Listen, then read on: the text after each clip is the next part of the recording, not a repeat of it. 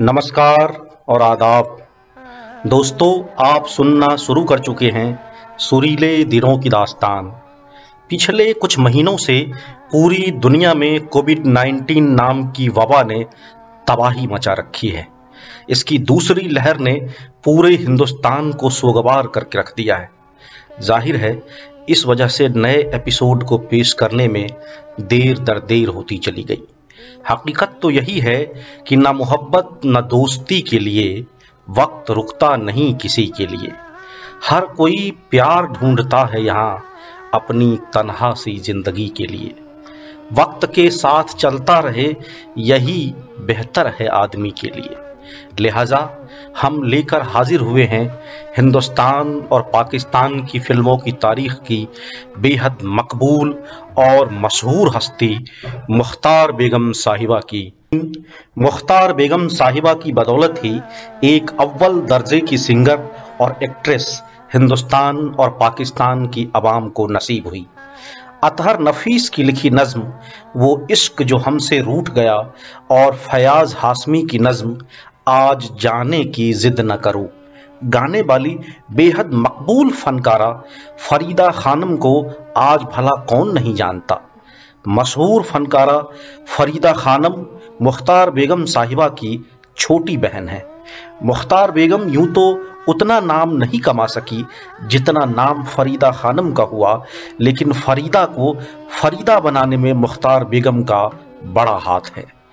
फरीदा खानम जब महज सात बरस की थी, तभी से उन्होंने अपनी बड़ी बहन मुख्तार बेगम से ख्याल सीखना शुरू कर दिया था। फरीदा खानम के कदरदान इस बात से अच्छी तरह वाकिफ हैं कि उनके गायन में ख्याल का क्या मुकाम है। इतना ही नहीं, ऐसी कई सारी गज़लें और नज़में हैं जिन्हें पहले मुख्तार बेगम ने गाकर एक रास्ते की तामीर की। बाद में उसी रास्ते पर बने उनके पैरों के निशान पर चलकर फरीदा ने गायकी का आला मुकाम हासिल किया। यह बात दीगर है कि आज मौसीकी के बहुत सारे कदरदानों को मुख्तार बेगम के बारे में ज़्यादा मालूम नहीं है। मगर सन 1930 से लेकर 1940 का जो दौर है, उस पर मुख्तार बेगम की गिनती आला दर्जे के फनकारों में की जाती थी। मेहदी हसन साहब ने जिस वक्त गाना शुरू किया था, उस वक्त बेगम अख्तर उर्फ़ अख्तरी बाई फैजाबादी, उस्ताद बरकत अली खां और मुख्तार बेगम गज़ल गायकी के तीन बेहद मज़बूत पिलर माने जाते थे। इससे आप मुख्तार बेगम के टैलेंट और गायकी के नाजो अंदाज और ऊंचाई का बखूबी अंदाज़ा लगा सकते हैं।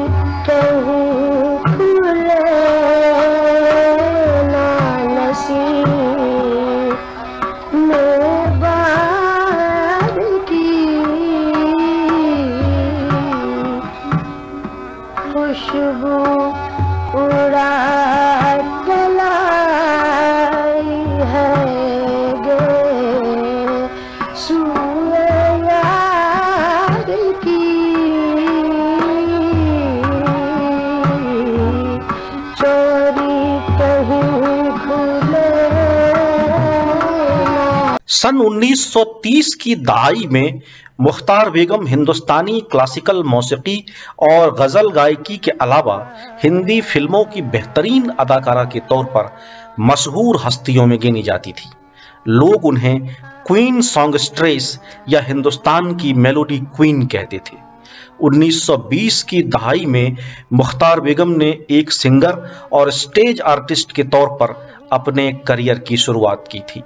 सन 1931 में उन्होंने अपना स्क्रीन डेब्यू किया और सन 1932 में बनी फ़िल्म श्रवण कुमार, इंदर सभा, मुफलिस आशिक, हिंदुस्तान, हथीली दुल्हन, अली बाबा और चालीस चोर और 1933 में बनी फ़िल्म रामायण, नल दमयंती, औरत का प्यार और आँख का नशा। सन 1934 की फ़िल्म सीता और 1935 की मजनू, दिल की प्यास। 1936 में बनी फ़िल्म प्रेम की आग और सन 1947 में बनी फ़िल्म मतवाली हीरा तक उन्होंने फ़िल्मों में लगातार काम किया। प्रेम की आग और भीष्म जैसी फ़िल्मों में उन्होंने संगीत भी दिया। इसके बाद पूरे हिंदुस्तान में मुख्तार बेगम के नाम की ऐसी धूम मच गई कि तमाम बड़े रियासतों के राजा और महाराजा उन्हें शाही दरबार में आकर अपना गाना पेश करने के लिए लाजमी तौर पर दावतनामा भेजने लगे। एक बार हैदराबाद दक्कन के निज़ाम ने अपनी रानी के बगल में मुख्तार बेगम साहिबा को बैठने के लिए कुर्सी की पेशकश की। यह उस जमाने में बहुत बड़ा एजाज था। लिहाजा निज़ाम साहब के कोर्ट के हाकिमों ने इसके लिए उनकी खूब तनकीद की थी। इस मामले में अपनी रियासत के हाकिमों की तनकीद की खबर जब निज़ाम साहब को लगी तो उन्होंने एलानिया तौर पर कहा कि मैंने मुख्तार बेगम की कला और टैलेंट को रानी साहिबा की बगल वाली कुर्सी ऑफ़र की थी। सन 1947 में जब हिंदुस्तान तकसीम हुआ तो मुख्तार बेगम साहिबा नए बने मुल्क पाकिस्तान चली गई। वहाँ उन्होंने लाहौर की फ़िल्मों और रेडियो पाकिस्तान के लिए गाना जारी रखा। सन 1901 में अमृतसर में पैदा हुई मुख्तार बेगम का नाम ऐसी अजीम फनकारा के तौर पर लिया जाता है, जिन्होंने मैडम नूर जहाँ को मौसीकी और एक्टिंग की दुनिया से तारुफ करवाया था। शुरुआत में मुख्तार बेगम साहिबा को मियाँ मेहरबान खां से मौसीकी की तालीम मिली। उसके बाद हिंदुस्तानी पंजाब के पटियाला घराने के उस्ताद आशिक अली खां की सरपरस्ती में लंबे वक्त तक मौसीकी की तालीम चलती रही। उस्ताद आशिक अली खां साहब क्लासिकल मौसीकी की तमाम बारीकियाँ उन्हें इस तरह आसान बनाकर सिखाते कि मुख्तार बीबी को ठुमरी दादरा और गज़ल गाने में महारत हासिल होती चली गई। उस्ताद साहब उन्हें सिखाने के बाद जब अपने घर चले जाते तो मुख्तार बेगम जरा सा कुछ खा पी कर फ़ौरन रियाज करने में जुट जाती। खां साहब की दी हुई हिदायत पर अमल करते हुए जब तक उस चीज़ को पक्का करके नहीं गा लेती, उनका रियाज मुसलसल चलता रहता। इस मेहनत का बहुत बेहतर नतीजा निकला। उनके मीठे गले और बेहतरीन गायकी की खबर सूबा पंजाब के कोने कोने में फैल गई। पंजाब और पंजाब से बाहर के तमाम रियासतों के रईस और पैसे वाले बड़े बड़े हुक्काम उनकी महफिल में आने लगे। उस वक्त के बड़े जमींदार अपनी हवेलियों में सजाई जाने वाली महफिलों में गाने के लिए मुख्तार बेगम साहिबा को बुलाने लगे। उन दिनों मौसीकी, थिएटर और फ़िल्मों का एक बड़ा मरकज सूबा बंगाल का कलकत्ता शहर हुआ करता था। कलकत्ता में जिसके आर्ट की तारीफ़ हो गई, उसको लाहौर से लेकर बंबई तक लोग अपने पलकों पर बिठा लेते थे। मुख्तार बेगम साहिबा को भी लगा कि कलकत्ता को फतह किए बगैर बात नहीं बनेगी। उन्होंने पंजाब छोड़कर कलकत्ता जाने का फैसला कर लिया। चूँकि वो एक ट्रेंड क्लासिकल सिंगर थी, देखने में बला की खूबसूरत और उर्दू जबान पर अच्छा खासा कमांड था, सो कलकत्ता जाते ही उन्हें नाटकों में अहम किरदार निभाने के मौके मिल गए। उन दिनों जिन नाटकों की धूम मची रहती थी, उन तमाम नाटकों को लिखने वाले थे तीन अप्रैल अठारह को शहर बनारस के मोहल्ला गोविंद कला नारियल बाज़ार में पैदा हुए जनाब आगा हसर कश्मीरी साहब। आगा हसर का असल नाम आगा मोहम्मद शाह था।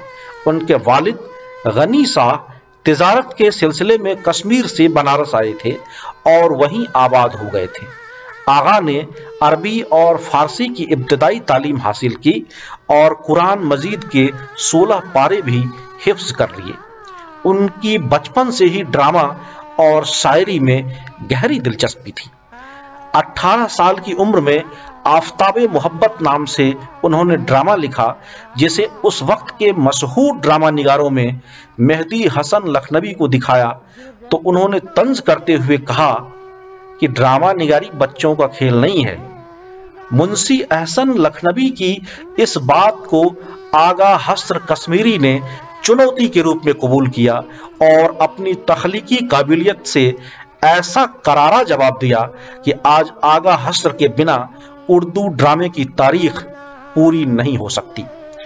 आगा हस्र कश्मीरी ने शेक्सपियर के जिन ड्रामों को उर्दू में तर्जुमा किया, उनमें शहीद नाज, सैद हवस, सफ़ेद खून खाब हस्ती बहुत अहम है। अभी हम उनका कहा एक शेर देख लेते हैं। वो मुकद्दर न रहा और वो जमाना न रहा। वो मुकद्दर न रहा और वो जमाना न रहा। तुम जो बेगाने हुए, कोई यगाना न रहा। अब सोचेंगे आप कि मुख्तार बेगम का किस्सा बयान करते करते मैं आपको आगा हसर कश्मीरी साहब का किस्सा क्यों बताने लगा? तो जनाब, वो इसलिए क्योंकि मुख्तार बेगम की शादी इन्हीं आगा हसर कश्मीरी साहब से हुई थी। आगा हसर कलकत्ता में थिएटर के दुनिया के बेताज बादशाह थे। आगा साहब की सरपरस्ती की वजह से मुख्तार बेगम को खूब काम मिला और उन्होंने खूब पैसा कमाया। दोनों करीब आते गए, लिहाजा कलकत्ता में दोनों ने निकाह कर लिया। 1933 में एक फ़िल्म बनी थी, औरत का प्यार, जिसके डायरेक्टर थे ए आर कारदार। इस फ़िल्म में राग दरबारी में आगा साहब की एक गज़ल कंपोज की गई थी, जिसके बोल थे, चोरी कहीं खुले, न नसी में बहार की, सबू उड़ा के लाई है गेसू वे यार की।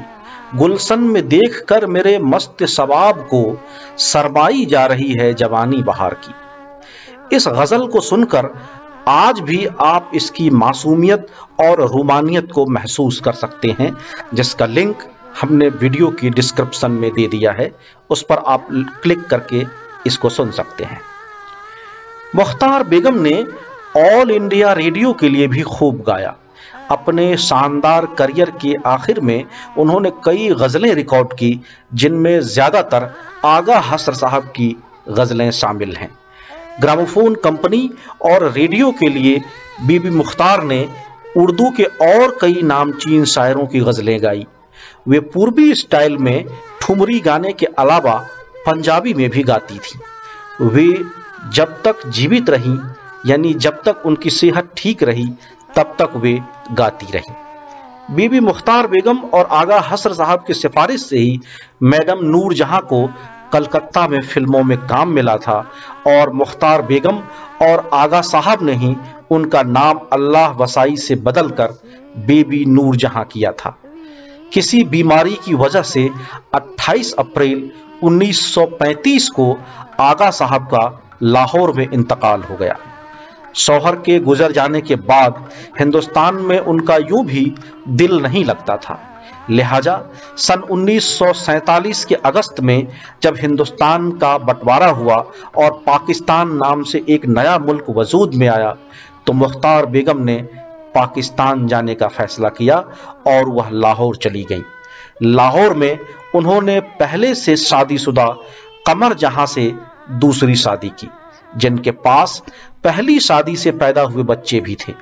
जब तक वे हयात रहीं, तब तक उनकी यह शादी चली। मुख्तार बेगम ने कमर जहाँ की पहली शादी से हुए बेटे एजाज से अपनी छोटी बहन गज़ल गायिका फरीदा खानम साहिबा की तीसरी बेटी फरजाना की शादी करवाई, जो आजकल अमेरिका के न्यूजर्सी में रहते हैं। हम आपको यहाँ एक किस्सा और बताते चलें कि पाकिस्तान के लोग जिस एक्ट्रेस को रानी मुख्तार के नाम से जानते हैं, उनको नासिरा से रानी मुख्तार बेगम ने बनाया था। नासिरा के अब्बा मुख्तार बेगम के यहाँ ड्राइवर थे। अब चूँकि नासिरा के घर वाले उसकी बेहतर परवरिश करने के काबिल नहीं थे, इसलिए मुख्तार बेगम ने उसे गोद ले लिया। मुख्तार बेगम चाहती थी कि नासिरा उन्हीं की तरह एक गायिका बने, लेकिन नासिरा गाने से ज़्यादा डांस का शौक रखती थी। लिहाजा बेगम मुख्तार ने नासिरा को उस्ताद गुलाम हुसैन और उस्ताद खुर्शीद से डांस की तालीम दिलवाई। एक दिन जब मशहूर फ़िल्म डायरेक्टर अनबर कमाल पासा मुख्तार बेगम के घर अपनी अगली फ़िल्म, सूरजमुखी की शूटिंग के सिलसिले में आए तो उनकी नज़र नासिरा पर पड़ी और उन्होंने अपनी फ़िल्म में नासिरा से काम करवाने का फैसला कर लिया। इस तरह नासिरा फ़िल्मों में आ गई। इस फ़िल्म में मुख्तार बेगम ने गाने भी गाए थे। नासिरा को चूँकि मुख्तार बेगम रानी बेटी कहकर पुकारती थी, इसलिए नासिरा को रानी मुख्तार नाम मिल गया। अपने आखिरी सालों में वे कराची में रहीं, जहाँ 25 फरवरी 1982 को उन्होंने इस फानी दुनिया को अलविदा कहा। काफ़ी दिनों से सुरीले दिनों की दास्तान में अपनी दास्तान ज़िंदगी और दास्तान मौसीकी सुनाने के लिए मरहूम बड़ी बड़ी कनीज तमंचा जान, पन्ना बाई, बेनज़ीर बेगम वगैरह दहलीज पर खड़ी इंतज़ार कर रही हैं। अफसोस कि तारीख मौसीकी के कपकपाते होठों की जानब इधर ज़रा कम नज़र गई, जिसकी धारा अब बह चली है। मुसलसल बहती रहेगी मुस्तकबिल में इंशा चलिए तो इन्हीं बातों के साथ अगली महफिल तक के लिए हम आपसे अलविदा कहते हैं। खुदा।